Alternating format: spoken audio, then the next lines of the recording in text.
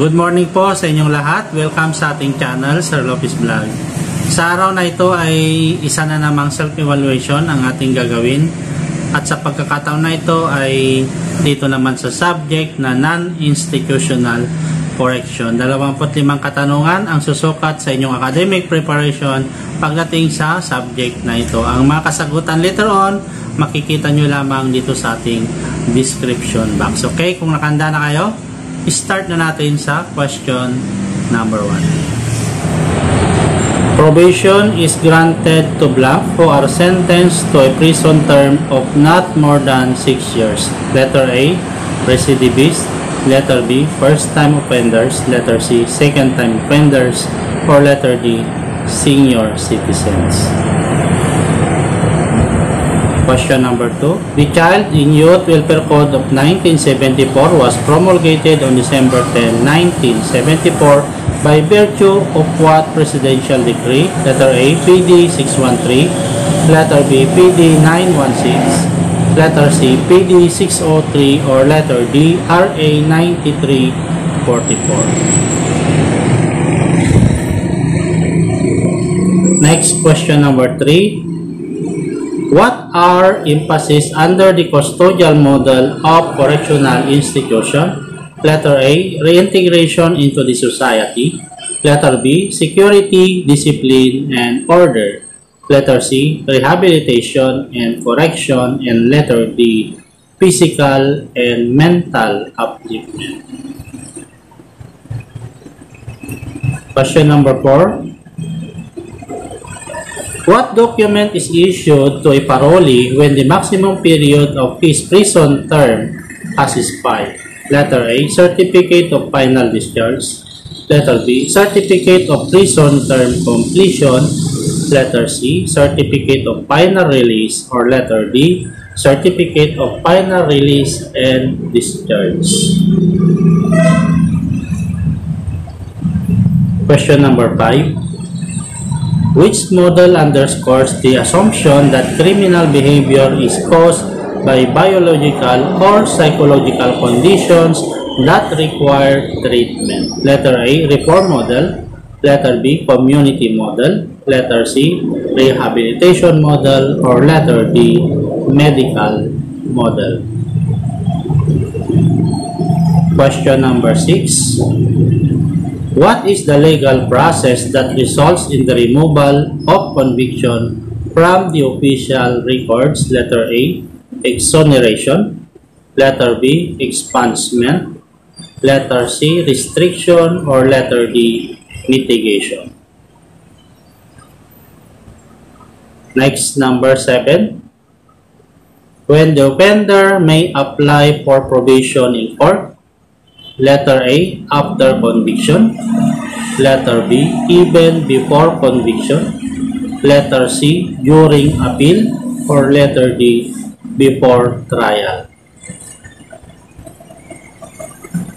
Question number 8. The judge will base the grant of probation on the report of the blank. Letter A, social worker.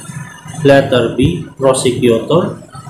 Letter C, probation officer or letter D, police officer. Number 9. The act of forgiving the wrongdoing of an offender and which is conducive to early reintegration. Letter A, probation. Letter B, parole. Letter C, pardon. Or letter D, reprieve. Question number 10.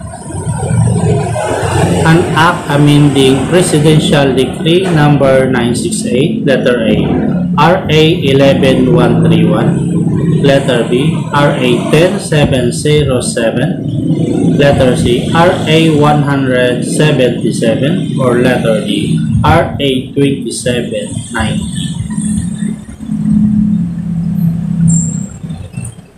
Question number 11. It is a judicial action or legal disposition that allows the offender to remain in the community subject to conditions imposed by court order. Letter A, commutation. Letter B, reprieve. Letter C, probation. Or letter D, parole.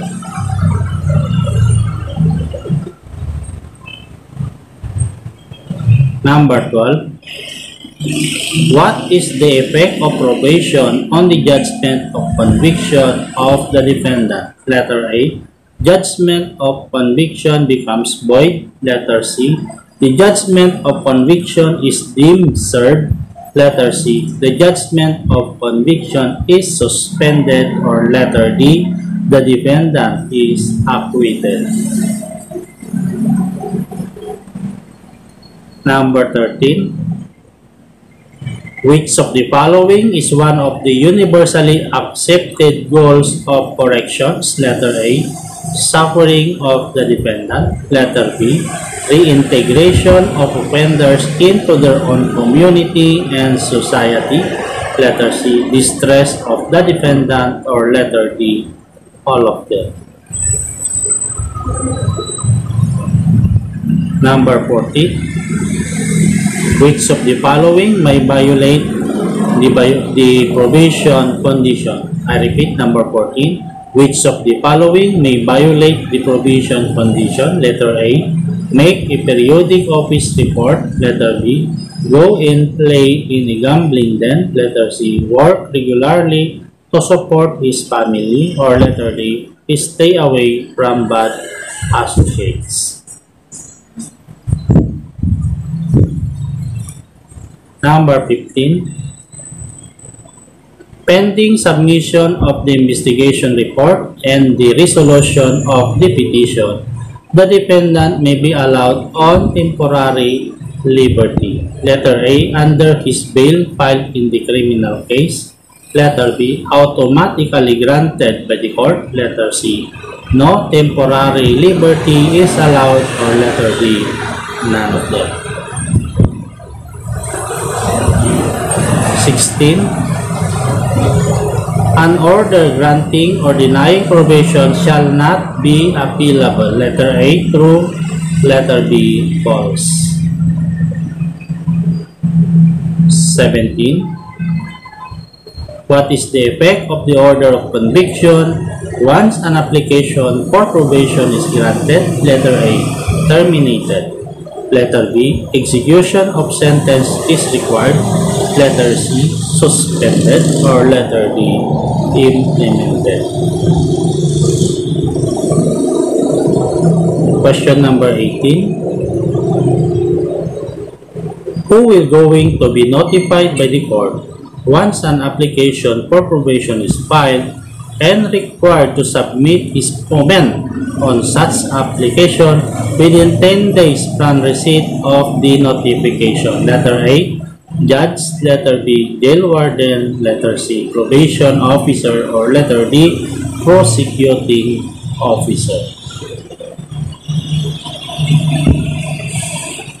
Number 19. Probation cannot be granted if the sentence imposed is a fine only even with subsidiary imprisonment in case of insolvency. Letter A, true. Letter B, false. Letter C, may be true. Or letter D, may be false.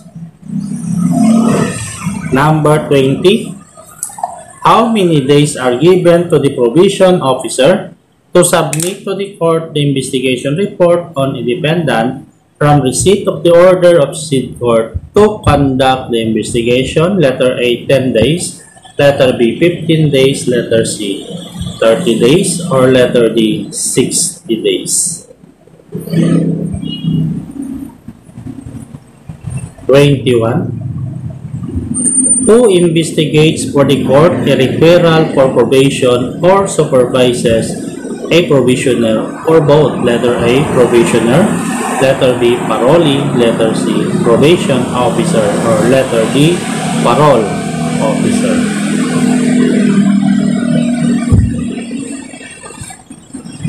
Twenty-two. What kind of investigation is conducted in determination by the court that the end of justice and the best interest of the public as well as that of the offender or as well as that of the defendant will be served thereby. Letter A, preliminary investigation. Letter B, judicial investigation. Letter C, post-sentence investigation. Or letter D, special crime investigation. Next number, 21, eh, 23. The probation officer shall submit to the court the investigation report of a defendant not later than blank days from receipt of the order of said court to conduct the investigation. Letter A, 15 days. Letter B, 30 days. Letter C, 48 days. Or letter D, 60 days. 24. The benefits of probation shall not be granted to the following except letter A, sentence to serve a maximum term of imprisonment of more than 5 years. Okay, kindly take note. 5 years dapat yan, ano? 5 years. Ma mali lang yung nakalagay doon na 6. Letter B, convicted of any crime against the national security. Letter C, who have previously been convicted by final judgment of an offense punished by imprisonment of more than 6 months and 1 day. Letter D. Who have been once on probation under the provisions of this decree.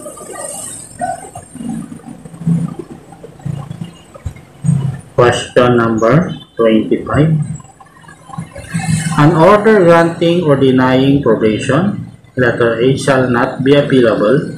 Letter B, be subject to appeal. Letter C, subject to review by the higher court or letter D, none of them. Okay, so maraming salamat sa inyong pakikibahagi sa ating sinagawang self-evaluation. Uh, mangyari lamang na submit na ninyo ang inyong mga kasagutan dito sa link na makikita sa ating description box and Good luck sa inyo. Okay, maraming salamat. Magandang araw po sa inyong lahat.